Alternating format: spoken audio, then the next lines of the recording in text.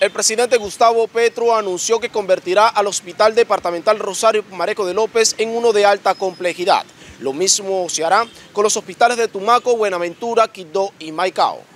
Nosotros queremos que en lo que permite la ley y las normas actuales implementemos ya el modelo en las nuevas, en las EPS que ya controlamos, desde ya.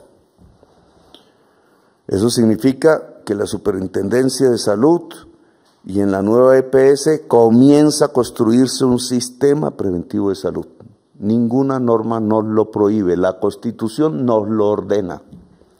Y las mismas leyes lo, lo pretenden. Sin éxito hasta ahora, ahora hagámoslo. En la en el, en el Superintendencia de Salud hay nueve hospitales públicos intervenidos. Miren dónde quedan. Tumaco, Buenaventura, Quibdó, Maicao, Valledupar, unos de atención primaria en Cartagena.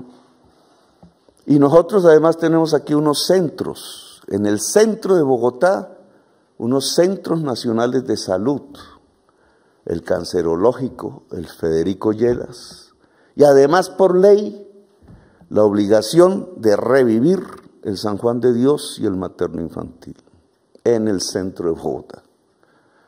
O sea, bajo nuestra responsabilidad directa está el centro de Bogotá como el centro nacional de la salud que debería ser de excelencia máxima. Y los hospitales en las regiones más pobres y carentes de recursos del país. Pues demostremos que podemos cambiarlo.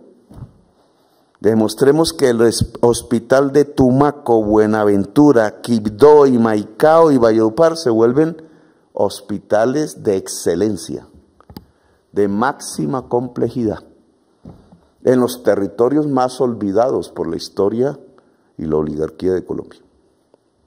Y demostremos que este centro de Bogotá puede ser el gran centro, como siempre lo fue, del desarrollo de la salud pública del país.